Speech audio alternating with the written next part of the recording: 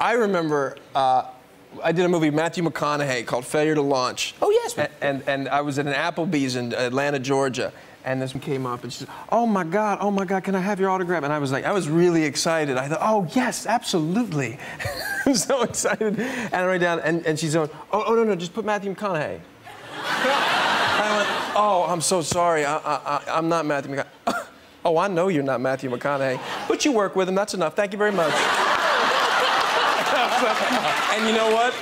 I signed it.